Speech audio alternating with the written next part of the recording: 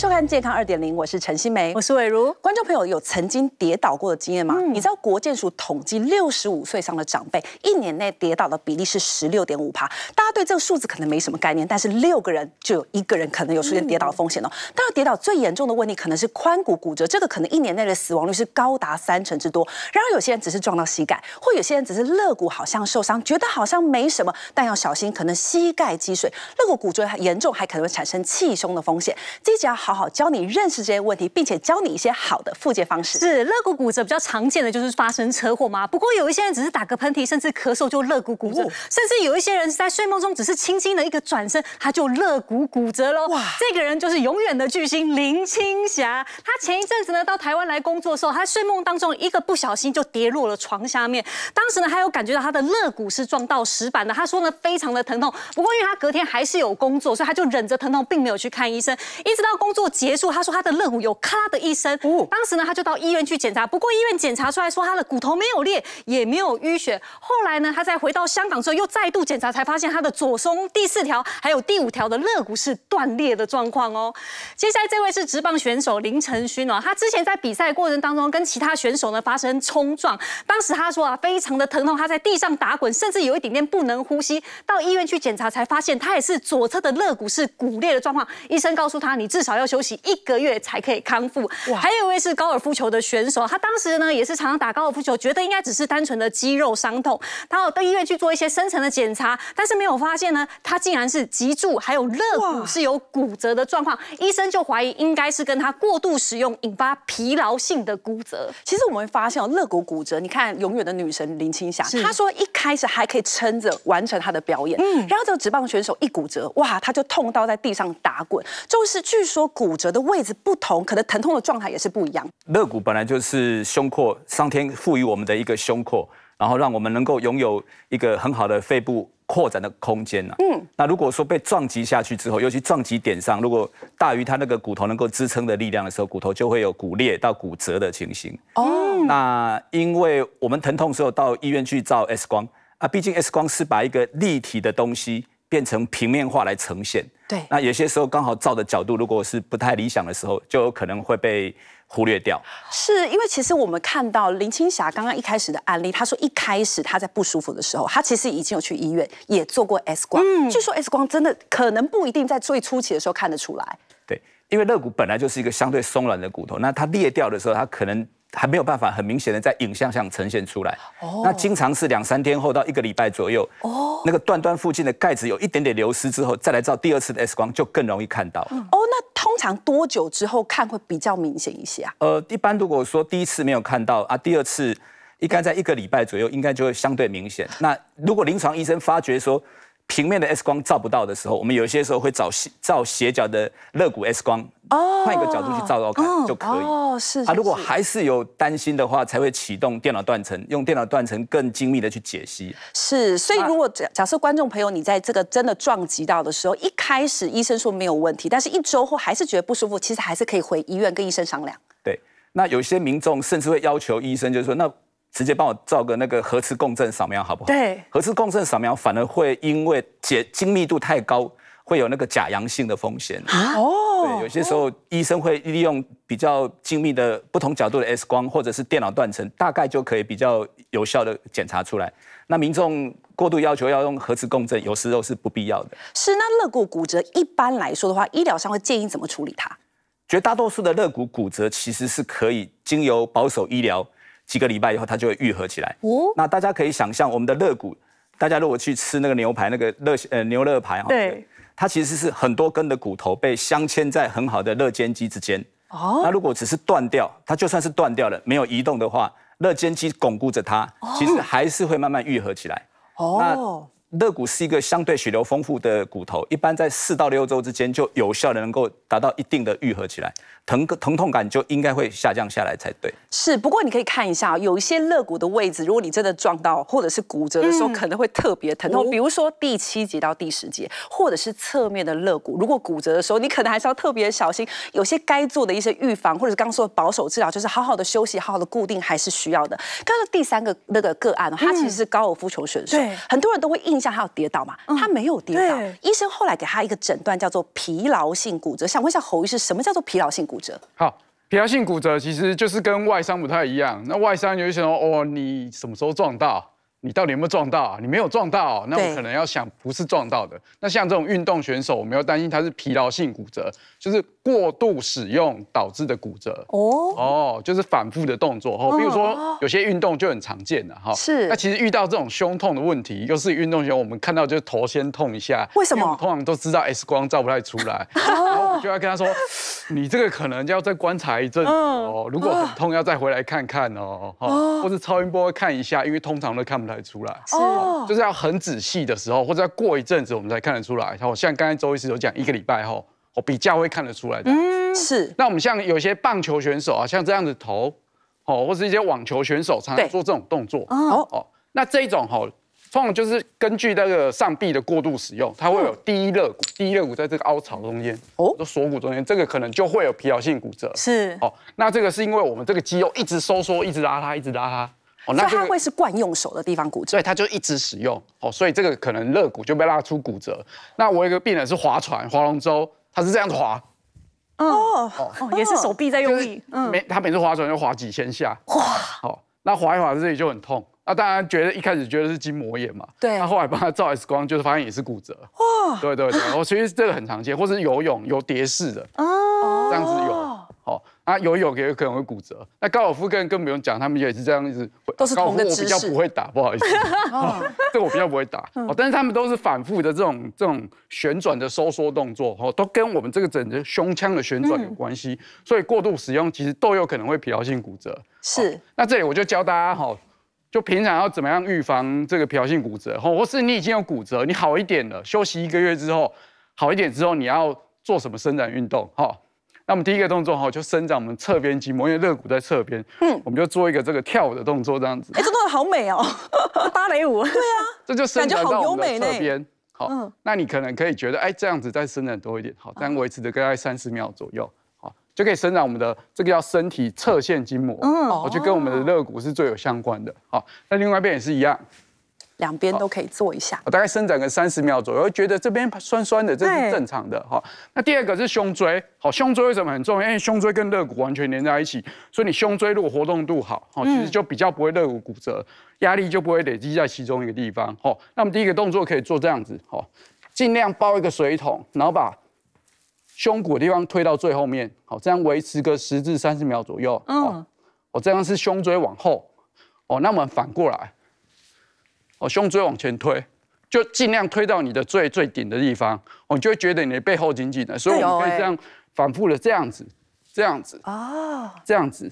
这样子其实就可以增进我们胸椎的活动度，就可以减少我们的疲劳性骨折。是，当然我们肋骨疼痛的时候，都会感觉到胸部这边痛痛。不过，当我们一般胸痛，都会觉得应该是心脏的问题。说话，你说，其实当我们胸部痛，还代表着我们其他器官也出了问题啊。对，因为其实以我们啊内科来讲的话，其实很多病人可能来到诊间就会讲他胸痛啊。胸痛的话，其实我们这一整个胸廓里面，当然包含，譬如说你可以考量心脏啊、肺啊、胃啊，然后甚至肌肉，刚刚讲的肌肉骨骼，甚至有时候紧张就会胸痛。嗯，所以其实根据它的特性还有。发生的位置，的确我们可以做一些辨别啦，然后指引大家说应该往哪个方向再继续探究。嗯，譬如说，如果有些人他在讲说，特别是比中间的地方，然后有一些烧灼感，或者是说好像恶心恶心的，然后胸口闷闷的，大概有时候跟肠胃啊胃酸的分泌、胃食道逆流可能有关系。那像大家比较嗯担心的胸痛，呃，就是心脏的这个问题的话，通常它会比较难指出一个定点。那当然，如果范围的话，大概也会比较偏左，可是它通常很难指出就是哪里哪里。那通常会有点像胸口压大石的那种痛，然后可能会拉扯牵扯到就是比如说下巴或者是左上臂的地方。那这个可能就是跟你讲你的心脏可能有些缺氧的问题这样子。那当然有一个更严重的心脏的这种胸痛，它的表现是说病人觉得他好像前胸到后背的地方有这种撕裂般的一个刀割的感觉。那这个就是可能也暗示着是不是有一个主动脉剥离现象是会致命，要赶快送医的哈。啊，其他的话，假设假设如果是肌肉骨骼疼痛，通常来讲啦。要比出个定点比较容易，然后它可能也会随着你的，比如说姿势啊的一些转换，它可能引起一些不管是患部或者是肌肉骨骼本身的一些啊牵扯等等的，所以就可能会有姿势上面变化而造成的一个舒缓或者是加剧一个现象。那还有很多人会觉得，譬如说。哎，是不是肺癌啊？对 对。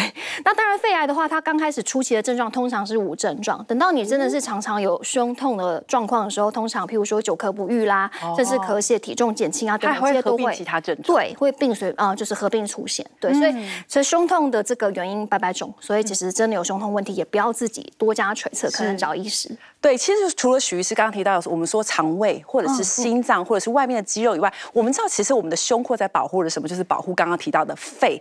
那保护它的就是我们的肋骨。所以有些胸痛，周医师你说也可能是肋骨或肋软骨的问题，甚至是里头的肺也出了问题。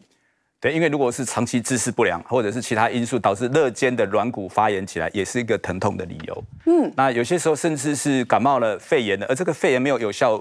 被控制下来，而往肋间的这些肌膜传递的时候，也会导致有有我我们有一些感染，会造成呢肺部就会很疼痛。哦，那另外还有个比较少的话，但是其实在老人家常出现，甚至有一些是带状疱疹。哦，那个胸间胸肩的这个神经被刺激到，那老老人家也会有那种异常的这些胸部疼痛起来。是是，不过这位是我想问一下，因为其实我们刚刚有提到说，哎，可能肌肉痛啦、神经痛或是内脏痛，它如果是民众应该怎么去做个简单的区隔？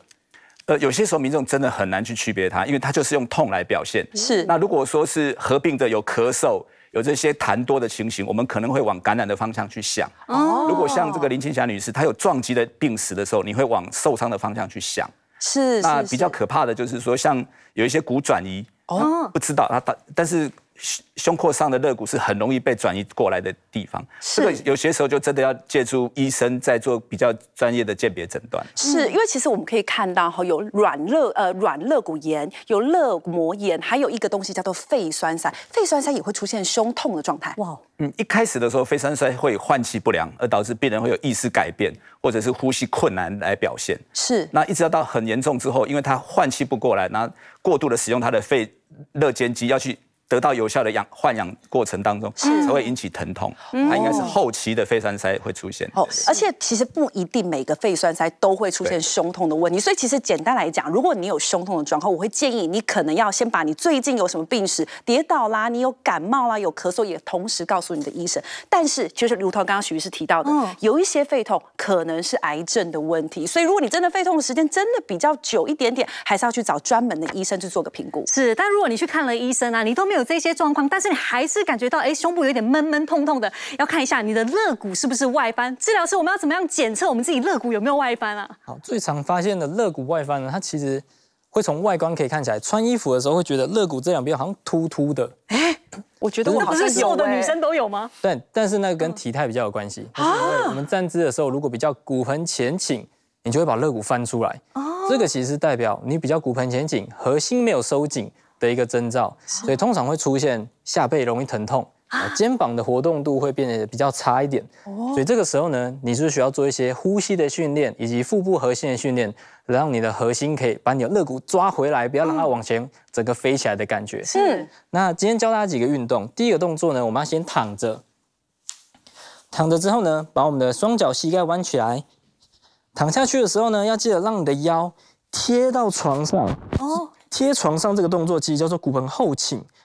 哦。贴到床上之后呢，我们可以先深呼吸，吸气的时候让你的整个肋骨扩张，吸气。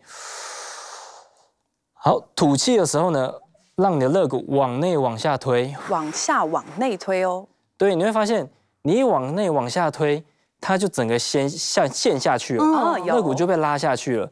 错误的动作呢，是你一躺下来，你会发现你从肚子往上摸。你的手就被肋骨挡住，这时候你的腰还空空的，嗯，这个就是一个骨盆前倾的一个动作。所以呢，我们要记得一定要让腰贴紧你的床面，然后吸气扩张，然后吐气的时候让肚子往内往下，把你的肋骨往下拉。这动作蛮舒服的哈。去练习你的腹部拉住你的肋骨。当你已经练习的还不错的时候呢，我们可以搭配一些臀部的训练。我们一样把屁股慢慢的往上抬起来。这个时候呢，一样吸气，吐气的时候往内往下拉，所以做刚刚一样的动作。对，一样。重点就是要让呼吸去带动你的腹肌，把你的肋骨往下拉。嗯，这是一个非常重要的一件事情。当你练习够的时候呢，我们就可以慢慢的变成说，我一样躺着，然后肚子好好的收着，然后我们可以把手往上举起来，嗯，但肋骨也不会翻起来，嗯。当你如果完全放松，呃，核心没有用力的时候，就会变这样，啊，这个时候肋骨就会超级明显，肋骨就外翻，凸起来。所以要练习说，我们把肚子收好，然后用呼吸把肋骨拉下去之后呢，吸气，吐气的时候把手举起来，这时候肋骨就会是平的了。哦，对。那这件事情呢，我们要。融会贯通到日常生活当中，是，所以我们也可以练习站着的时候。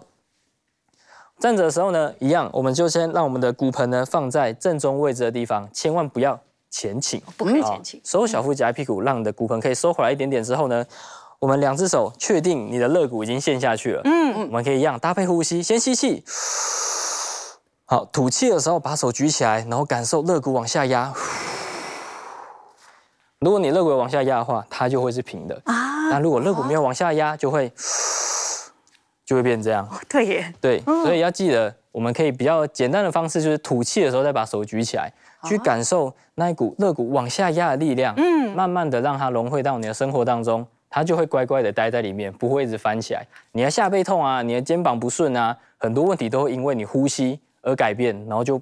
你可能就人就好了。哇哦，对，这是蛮常遇到的。是，大家可以学一下这个我们说肋骨帮助的一个核心肌群的运动。那因为最近其实感冒很盛行，很多人动不动就咳嗽，但你知道吗？有人竟然咳着咳着，竟然咳到肋骨骨折了，发生什么回事？广告回来告诉你。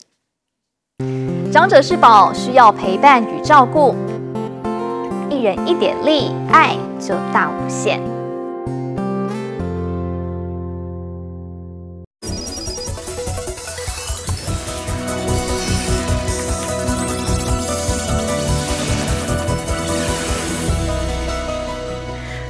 们听到肋骨骨折，通常都是在发生车祸比较大的撞击情况之下才会发生。不过有一些人只是单纯的咳嗽，竟然可以咳到肋骨也骨折喽。这位就是日本的女艺人，她之前呢入住温泉的饭店两个晚上，她回程之后就开始一直咳嗽。当时呢她是有去看医生的，医生也告诉她哦，这只是一般感冒，多做休息应该就可以。但没有想到这咳嗽竟然咳了一个月的时间，甚至她咳到连肋骨的部位都有疼痛感。她后来呢又带回到医院去看医生，医生才一检查才发现她原来又。右边跟左边的肋骨通通都裂掉了，是因为他咳嗽过度所造成的哦。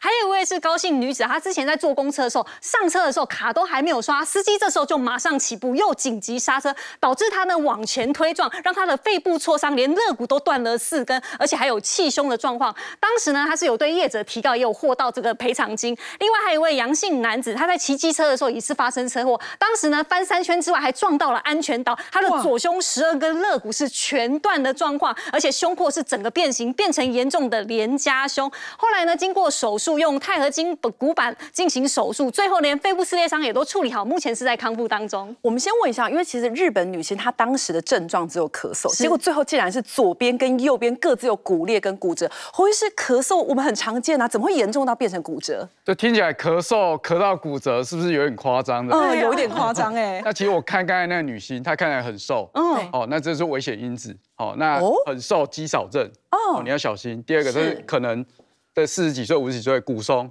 哦，这两个风险，哦，他如果又咳一个月，比如说得了什么百日咳，不过那是小朋友了，梅将军、COVID 的都有可能咳一个月。其实咳一咳，大家可以看到这个左右肌肉，哈，对，其实我们吸气、呼气，哈，都是要用到里面的肌肉的，嗯，所以你如果一个一直咳、一直咳，你就是一直吐气、一直吐气，哈，对，它就肌肉会一直拉那个肋骨。啊，其实你你咳一咳，可能一天咳个一百次，然后咳三十天三千次，哦，拉一拉，你就肋骨就骨折了。哦，所以这个是有可能的。哈，所以咳嗽造成骨折，这个是学理上是可以解释。哦，是。那第二个很常见的，就是比较平常人，有时候我打一个喷嚏，哈啾，对，好，那哈啾会这样子，对不对？嗯。哦，他可能会有两个问题。第一个也是肋骨骨折，因为它是强力的收缩嘛，是，好肌肉要强力的收缩，它横膈膜要往上，然后它的它请我们都要往前，好，我们肋骨就折了一下，所以比较脆弱的，这个这个柔软度比较不好的，可能就啪，哇，就会听到一个声音咔咔的声音，好，他就要来照 X 光这样子，嗯，那第二个哈，就是如果是长辈，你要小心他是不是打喷嚏、咳嗽之后整个背很痛，哦，那我们通常会敲一敲他的脊椎骨。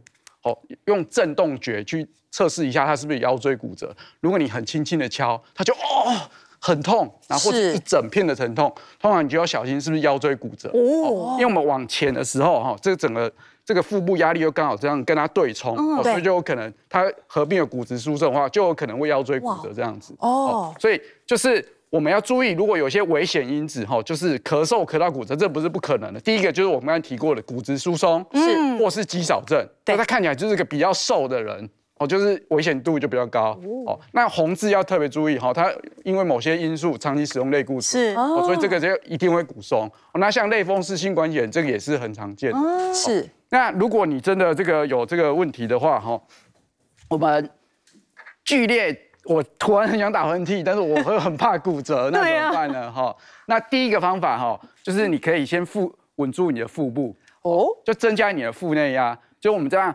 哈气的时候，我们可以用腹肌，然后增加一点腹内压，我们就不会这样子整个缩起来，然后肚子里面就有一个压力了，好，所以你的肋骨就不会剧烈的活动，是，哦，或者你真的要一直咳嗽，你就先护住肚子，好，这是第一个，好，啊，第二个哈，如果你是比较长辈，你真的很怕这边骨折哈，那有两个方法，第一个你就直接护住，好，这样子就是用手告诉我们的这边的肌肉，哎，我等下咳嗽了，麻烦你用一点力。哦，不要让我骨折，是这样子。那我们再这样 这样子咳，哦，就可能这个骨折几率会比较多一点。哦，那如果真的还比较严重，我们就双手护住，哦，这样子，嗯，哦，这样子可能骨折几率都会比较下降。这样子。然后我之前其实有个案例啊，哈，如果你有骨质疏松，你给他推拿一定要很小心。哦，哦，就是我有一个推拿师的朋友，我就按我的按他的长辈，他就觉得他有点驼背。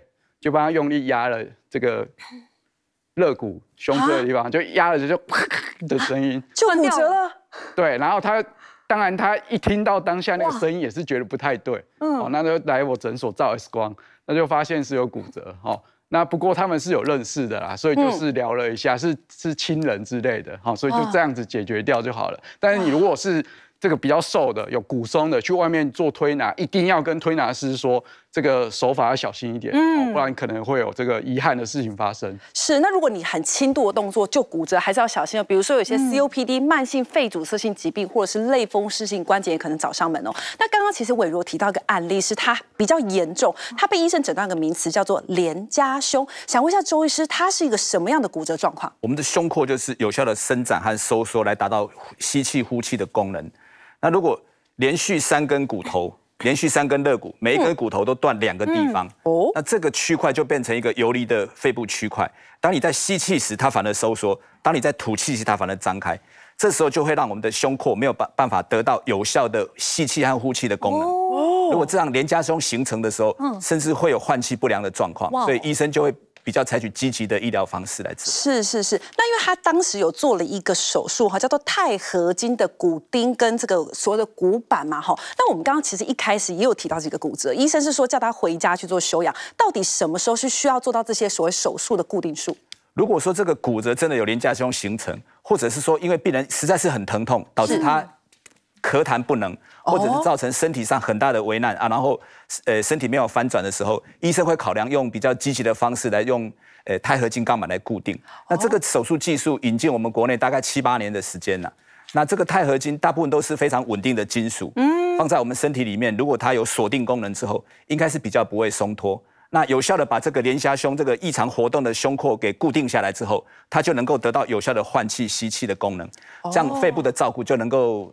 但很明显的改善下，嗯，是，所以如果假设说是连加胸，或者你可以跟你的骨科医师讨论一下，又或者是你其实已经太疼痛了，你止痛药都压不下的时候，可能你就跟医生讨论是否要做一些固定的手术。没错，如果你太容易骨折，其实要检视一下，哎，会不会自己其实有骨松的问题？骨松我们在日常生活当中要补充哪一些营养素呢？徐医师，好，在营养素上面来讲的话，当然我们一定会想到有关于维生素 D 还有钙质，这是最基本的。那当然我们在指引上面有跟大家讲说，以钙质来讲的话，你每天要一千两百毫克，然后以维生素 D 你就要有八百国际单位。那跟大家讲说，像钙质的话，你可能可以在譬如说像牛奶啊、小鱼干呐、黑芝麻等等这些食材上可以补充到。那维生素 D 之所以重要，是因为其实你钙质补的再多，你如果没有维生素 D 的话，其实它的一个就是帮助吸收的这个。这个这个功能啦，其实就是会大大的减低这样子。但是因为维生素 D 普遍国人都会比较缺乏，所以呃一来是因为在食物上面来讲来讲的话，譬如说都是一些瘦肉或者是说呃香菇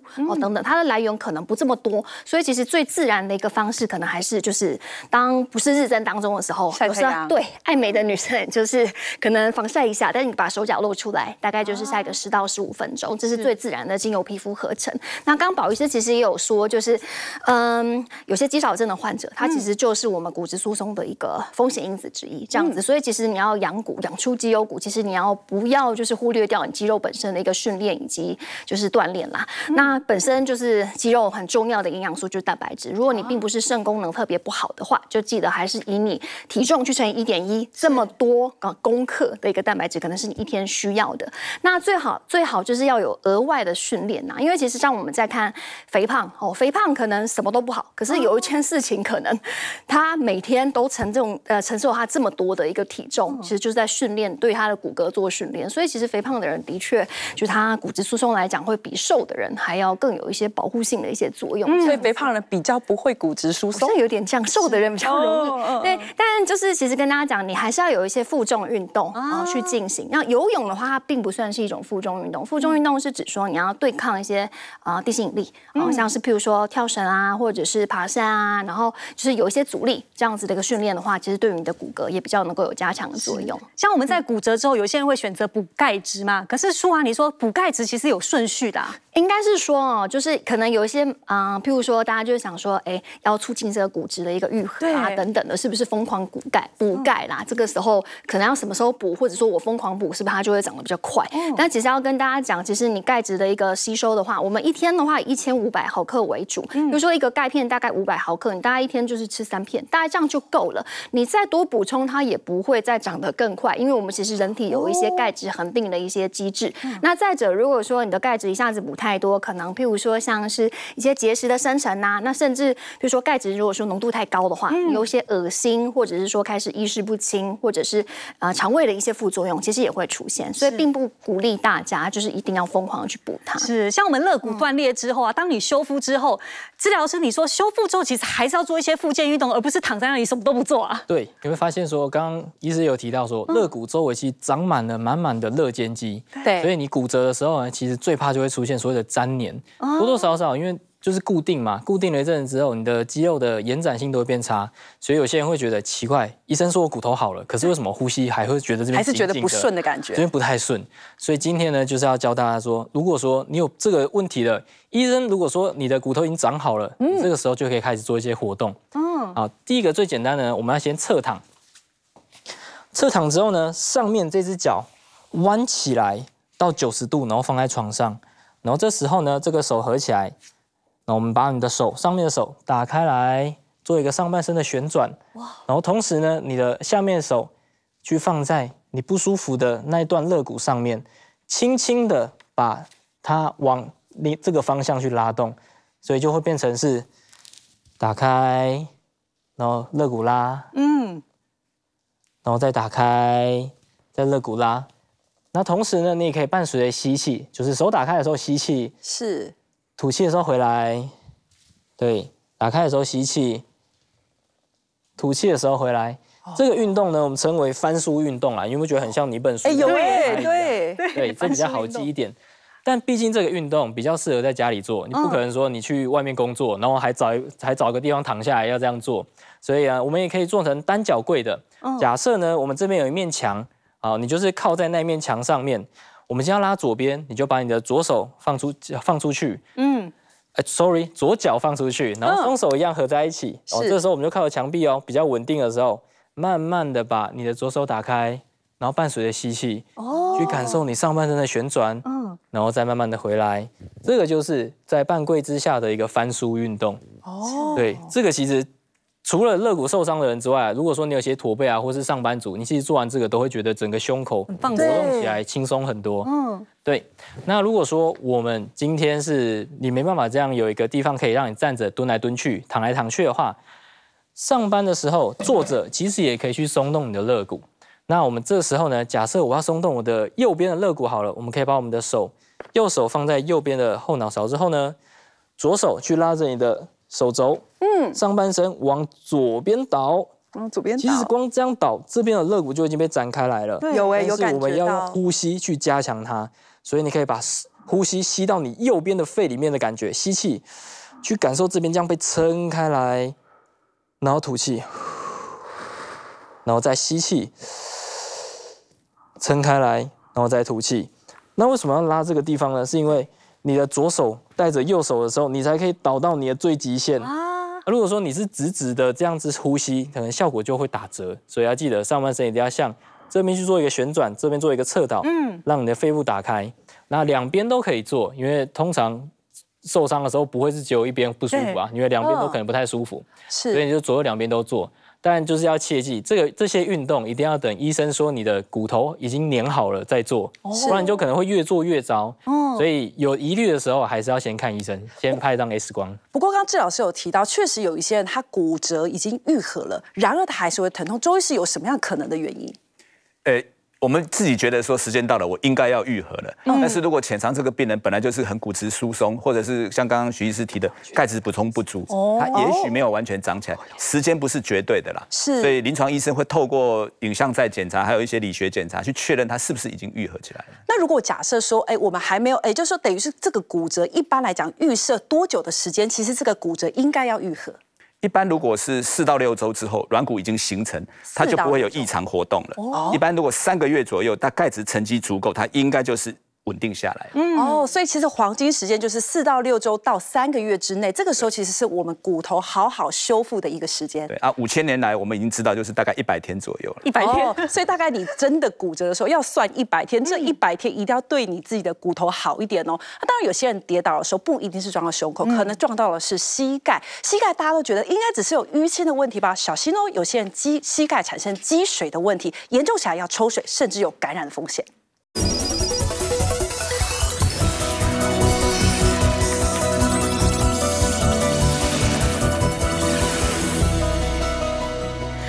膝盖一不小心受伤的时候，可能只有没有淤青这么简单，它有可能会让你膝盖积水哦。当你膝盖在积水的时候，有可能没有办法弯曲，甚至连走路都很困难哦。哇！但是今年四十七岁的言承旭呢，他前一阵子参加录的一个综艺节目，他在锻炼的前期呢，一不小心就把自己的膝盖给弄受伤了，导致他的旧伤是复发的。但是呢，在这训练的时间，他就只能用这个另一只脚来做代偿的运动。但没有想到，长时间下来，让他膝盖的半月板是碎裂，膝盖是严。重的积水甚至是肿大，他说他一度是要拿着拐杖才可以走路，最后呢只能忍痛把这个节目给退出了。再就是艺人兰坡老师啦，大家都知道他非常会教舞，也会编舞，所以他就说他每一天跳舞哦，光是跳舞的时间就要八到十个小时。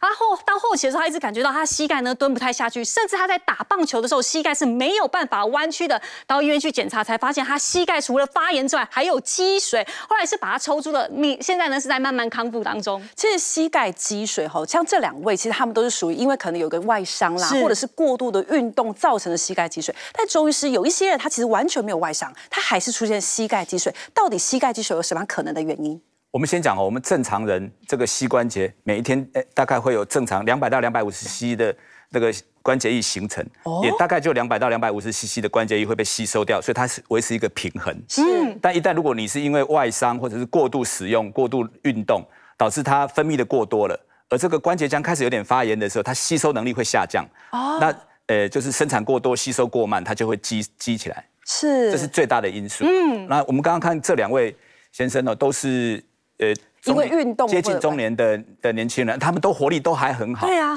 但是他们可能以前有旧伤，他没有注意到。他为了想要某一些表现，所以他过度去使用他这个关节，导致他短期间内的生产量过大，吸收量过。不来不及，那就会造成这样积液的状况。是甚，甚至连退化性关节也可能会造成膝盖的积水。对，因为退化的关节，它的那个关节腔的那个结构体越加越加的纤维化，所以它本来的吸收力就已经不好了。所以有很多中老年人，他他的活动量。还不是很大，它但但它已经是生产过多、吸收过少，就已经会积了。哦，所以其实退化性关节可能它只是正常的活动，它也会觉得，哎，怎么突然出现膝盖积水？他会觉得旁边的朋友都可以啊，他们都爬得了山，为什么我爬上去就积了呢？是因为每个人的关节的这个健康状况不一样。那因为有些时候膝盖积水，医生会去做抽水的动作，据说抽出来的水有时候看颜色也看得出什么疾病。对，如果说这个肿胀的关节疼，因为肿胀会造成病人疼痛，医生就会考量去抽。抽出来。是，那抽出来过程当中，如果是一个完全健康的关节液，我们就看到很像很干净的沙拉油。哦，干净的沙拉，然后有点粘稠性的这种很好的关节液。那如果抽出来量很大，而且变成是一个没有粘稠的这个关节液的时候，我们可能就知道它在发炎了。哦，然后如果已经看到有一些白浊性的这些物质，像杂质的话，就甚至担心它是感染的。哦，那如果是抽出来的东西，甚至有血块的话。我们就要担心说，里面可能有结构体，像十字韧带，或刚刚像说有半月软骨裂掉了，嗯导致那边有出血出血了。所以医生可以从抽出来的这个，诶关节液就可以初步研判。那当然要比较明确一点点，我们会把关节液送去化验，看看它单位体积内的这个白血球、红血球或者是其他物质有没有增增，这样就可以鉴别说它可能是什么原因造成。嗯那一般膝盖积水，当然我们不想等到肿到很大才去医院嘛，它会有出现什么样的症状？其实最大就是不舒服，会疼痛，那关节活动度会下降，然后病人就会觉得很不舒服。那也有很多民众会先到一些房间的呃这个呃开门诊去接受初步判定，那医生都会很小心看待。如果说这个病人真的因为暂时间的肿胀已经造成他影响了，那医生会帮忙先把液体抽出来，然后经由他的研判之后，告知说他可能是过度使用，或者有可能是发炎的。那呃这些。基层医生会赶快帮他转介到需要可以帮帮得上忙的医学中心或区医院来帮忙。嗯，这么想问一下侯医师，我相信你应该有帮人家做过关节液的抽水，而且应该很长，对不对？每天都有。哇，是，因为因为有一些人其实是不用抽水，医生叫你回去观察嘛。有些是一定要抽水的，请问一下，到底什么时候的膝盖积水，医生会判断应该要把水抽出来？哦，以上那种液体我都看过，而且我常常看到。真的假的？所以它真的会是乳白色的？对 对对，这有点可怕，那个就叫他去医院了。是哦，那有几种啊？就民众有说，哎，我其他医生看过了，他说有积水，可是他没有帮我抽，哎，你再帮我看看要不要抽好不好？嗯。好，那我们有几个判断因素。第一个，他症状有没有很严重？我觉得他有没有很肿，影响他生活？哦，他走路有点困难，他不能蹲。哦，那这个我大概就建议就抽好了。那第二个，看他水多不多？嗯。我们超音波其实放上去。我大概判定的标准是十 CC 左右，十 CC。对，如果是十 CC 以内，我通常建议说你这个其实还好，嗯，就休息、复健、快呼吸，哎，回家冰敷、热敷，它就会比较好了。如果是十 CC 至二十 CC 或二十 CC 以上，我通常是建议直接抽掉，因为水里面是一些发炎物质，它其实会伤害我们的软骨。哦，所以你让那个水发炎物质那么多，其实对你的膝盖软骨是不好的。长期而言，你这个退化的几率会比较高。哦，那第三个，如果我看到是血的话，血，对对，血的话，我就建议抽掉，因为那以后会变血肿。哦，它以后会变硬硬的。我觉得对你整个膝盖都是不是很好，所以如果我这三种状况，我大概都是比较建议会抽这样子。是是。那如果这个，如果它只是没有没有不多啦，我刚刚有提过哈，其实它就是我大概就附件三宝啦，对，就是这样。附件，吃药哦，附件带护膝啊，多休息这样叫复健三宝。嗯。那回家回家的话，我他如果已经抽完了，比较舒服，他觉得膝盖卡卡的，我都通常会建议他做一些运动这样子。好。好，那我们膝盖卡卡，大概就是跟大腿股四头肌以及后面的这个腘旁肌以及小腿有关。好，所以我们就可能伸展这个前膝盖前后的肌肉。哦，那其实其实蛮简单的。然后，比如说我这个这边比较紧，哦，这边膝盖比较紧，哦，我要伸展左边的股四头肌，哦，我们就这样子。所以这个动作是为了让膝盖可以得到适当的伸展。对，你看我这样膝盖已经弯到底了。对，哦，所以有的人是不能弯到底。对啊，糟糕，好像有一点点不行。有长辈弯到底，哦，所以你就这样子，嗯，哦，这样子就可以增加膝盖屈曲的活动度。哦，哦，这叫屈曲。是。那如果伸展活动度就是伸长嘛，哈。对。那如果这样子伸展，这样这样伸展可能有点不太够，所以我们通常会借助个椅子。哦，就我们就这样伸展，然后脚尽量伸直。有些长辈他会说我走路。膝盖都弯弯的，对对对，卡卡的，好，所以他可以做这个伸展动作，哈，所以我们只要伸展大腿的。前面股四头肌以及后面的腘旁肌，哈，就是你膝盖卡卡的症状，通常就可以得到缓解。这样，嗯，如果你的膝盖积水啊，一直不会好，甚至常常出现的话，其实要检视一下，有可能是其他疾病造成的。舒华，嗯，对，就是我跟大家分享一个案例，她是一个四十岁的女性，那其实就是膝盖疼痛啊，她大概有三四年了。那当然到诊所去看的话，刚开始还是被诊断是退化性关节炎，所以就是吃药呃消炎了，它就会好。那好了大概一两个星期就会反复发生。是，那到但是后来她也不管了，反正。正他就是继续吃成药，甚至自己去买这样子。但是后来因为膝盖会反复的呃，就是积水嘛，积水抽掉了以后，还是春风吹又生这样子。而且后来其实应该说，不只是膝盖本身被侵犯，就是到了他就是譬如说手部啊的一些掌掌部这个地方的一些关节，然后还有像是问题，对手腕这边，就是他甚至是做一些就是比较细微要转个瓶盖，或者是说呃要转开门的那些动作，对严重的被影响会痛等等的。那因为其实他。呃，多方他那个时候绝对是呃四处去看，然后比如说看到我们加一科的时候呢，因为他已经是多发的一些关节侵犯，所以当然就是呃我们的医学教育就会提醒我们，可能是时候去转到那个风湿免疫科去。哦对，它是一个自体免疫疾病，叫做类风湿性关节炎。那基本上这是一个全身性哦，有关于你免疫系统上面的一个紊乱以及失常而导致的一个疾病啦。就是说你的免疫系统它应该是要抵御外敌嘛，就是说去啊，就是保护你自己的身体，然后去把外来的病毒细菌给它打掉，但如果说它有时候错乱了，就攻击自己的一个细胞、哎器官或组织的话，那其实就是我们讲的这个类风湿性关节炎，它其实就是其中一种，其实就是它的一个多发的关节。就是如果是上肢的话，应该就是手腕这边，然后还有像是手指一直掌骨这里。那如果说是下肢大多，譬如说像是膝盖啊，或者是那个脚踝的地方，也蛮容易被侵犯的。那通常就是自己的细胞导致，就是说在关节里面的这些滑膜它。滑膜它反复的一直发炎，所以它就会有重复一直积水的一个情况出现，而且其实还是会有一些软骨本身的一些侵犯，甚至是局部的骨质疏松这样子。所以像这种关节炎，它除了特性就是多发的一些关节发生之外，其实有些人他会有晨间僵硬的问题，就是患部它可能会有一些僵硬，然后超过一个小时，而且他休息通常比较不会好啊。对他呃，就是像我们一般突发性关节炎，可能休息它的好，对对对，动的比较不会好，它反而就是还是。是持续的一直发生，那再来因为是全身性的一个问题嘛，所以像是比较疲惫啦，或者有些微烧啊，还有像是肠胃一些不舒服，甚至是如果到后面侵犯到了你的肾脏啊、心脏啊等等其他的器官，也是会让其他器官会有一些功能上面的一些不良啦。所以其实就是哎关节炎它的学问的确也很大，好不要千万不要只局限自己买成药吃。嗯，是，所以其实我们说的膝盖，如果你积水，刚刚应该提到退化性关节炎过度使用，甚至有些自体免疫的问题，其实也要。留意哦，想要强健你的膝关节吗？广告回来再教你几招强化下肢的肌肉运动。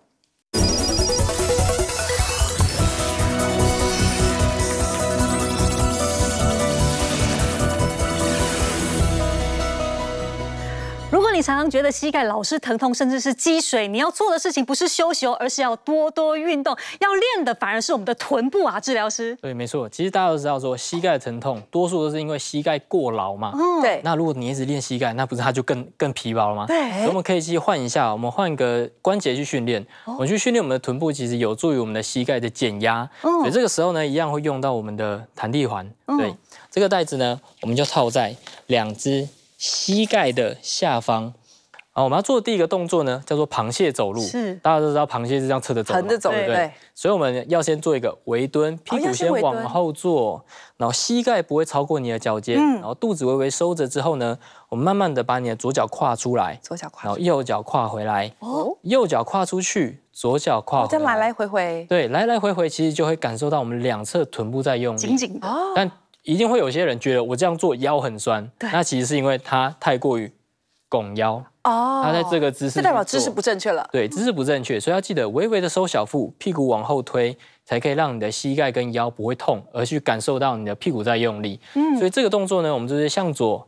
好，向右可以重复大概十五下，应该就会觉得你两侧屁股燃烧的感觉。好，有紧紧的感觉了。对，没错，这个就是所谓的螃蟹走路。那如果说螃蟹走路练完之后呢，我们可以练所谓的单脚的硬举，因为这个动作呢跟我们走路很像。嗯，所以你要把这个动作融会贯通到你的走路当中的话，我们可以假设我们今天要练你的左脚，我们就左脚先站着，右脚垫脚尖，双手叉腰，做一个类似溜冰的动作，让你的右脚。慢慢的往后滑，重心都在左边那只脚哦，然后上半身前倾，光保持在这个位置上，你的屁股应该就会觉得紧紧的了。对，然后再慢慢的站起来，开始在发抖了。对，这个动作呢，你做的越慢越有效，哦，越慢越有效。而有些人这样很快，其实完全就没有臀部的感觉，所以你要慢慢的往后，然后再慢慢的往前。这个对于有一些跑步啊，或者是上校梯膝盖会痛的，做这个都会好很多。哦，真的。对。但如果说你现在就是膝盖很不舒服，它就是有积水啊，那我们日常生活总会有需要做到站起来的机会。对，这时候要教大家怎么样可以轻松的做到站。是，错误的动作呢，是你脚伸太前面，然后你就想要这样直接这样站起来，就会觉得膝盖很吃力。所以做到站呢，一定要记得第一件事情就是膝盖往后收一点，然后借由上半身往前，让你的重量压到脚上之后，屁股再往前往上。哦，所以这个是帮助我们可以顺利站起来的姿势。对，让你做到站，不要让的不要让你的膝盖太过于压力太大，嗯，而是让屁股多出一点力气。那如果有一些长者啊，他就真的脚没有什么力气，又站不起来的话，其实我们可以用身体前后的摆动来带动上半身，这样一、二，先摆动几次，往前站起来。哦，你会发现你做到站这些动作做得越快越轻松，你反而让。哦，慢慢的就会觉得哇，我这膝盖很没力，很痛。哦，所以要记得，就是做到站，其实越快是越轻松的。嗯，是。那志老师刚刚其实教的是一些臀部的动作，想问一下侯医师，还有没有什么强化膝盖的动作可以教一下大家？好，那这里教大家几个，就是全身性的有氧运动啊，就是对全身的身体都有帮忙，啊，对心肺有帮忙。那椅子是个好东西，所以做运动 要椅子是很棒的。好，那我教我今天教几个运动，大概教三个哈。第一个最简单的就深蹲，哦，那旁边有个椅子，其实就是你没力你就撑一下，可以辅助一下哦，不要觉得羞耻。对，尤其长辈其实扶着比较安全。扶着其实没什么，就是你要扶两边也可以。是，重点是你有运动到。OK，好。其实我们可以深蹲哦，比如我建议长辈，哎，大概从二十下开始，对，那你每天加一个五下左右，嗯，做到这个五十下，我就觉得你很棒，大概一百分了。这样。五十下其实蛮多的，对对对，但是就循序渐进啊，一天加五下哈。那第二个是我常爱推广哈，叫叫单腿，就是弓箭步蹲，我觉得这个动作也很好，因为它可以训练到臀肌以及大腿。好，那我们就往往下蹲。它也像是深蹲，那像变化版的深蹲。对，它是变化版深蹲，它是单腿的，然后它会多训练到我们的身体平衡以及臀肌。哦，所以它训练到的东西更多这样子哈。那么往下蹲的时候，我们可以站起来就往上。哦，这样是一直是一个连续的动作，就是一个连续的动作哈。其实这样也比较有趣啊，不然你一直蹲，其实也不知道在。这个也是要做五十下吗？哎，这个大概也是从二十下开始。好，因为这个其实强度蛮重的，我现在有点酸，而且会喘。这强度蛮高的哦。对对哈，所以就是一般在家里哈，就是有椅子其实蛮方便的哈，这样也比较不会跌倒。扶着，嗯，对长辈而言哈，所以我们大概左右都可以做个二十下哈，就是一个很好的有氧运动。哦，连我都开始有点喘了，真的有一点喘哎。不过观众朋友量力而为啦，好，如果假设你真的做不了那么多，就从慢慢的十下、二十下开始累积。嗯。第三个我觉得也是很棒的啊，这样子。哦，登阶运动。啊，这也是很棒的运动。哦，就教大家这三个运动。是，其实这个动作我觉得也蛮好了。我们今天讲了很多，大家可能比较少听过，比如说像是肋骨的问题，或者是膝盖的问题，要特别提醒一下。其实，在我们的膝盖承重其实很重要哦。比如说我站着的时候，承重体重的一到两倍。嗯。但假设我今天爬楼梯，其实我们承重的四倍，我们体重的四倍哦。如果今天呢，我是蹲着，可是我们承重的八倍。因此，假设你的膝盖或你的肋骨受伤的时候，医生会给你个医嘱，在特定的时间记得要开始做复健，千万不要。怕痛，因为这个附件其实可以帮助我们好好的愈合这一次的骨折问题哦。健康的理念，希望大家骨骼健康都可以活力四射。我们就下次见喽，大家拜拜，拜拜。大家好，我是健康主播郑凯云。喜欢我们的影片呢，欢迎帮我们订阅、按赞、分享，还有开启小铃铛。哎，另外很重要哦，在底下有个超级感谢，可以按下去表达对我们的支持。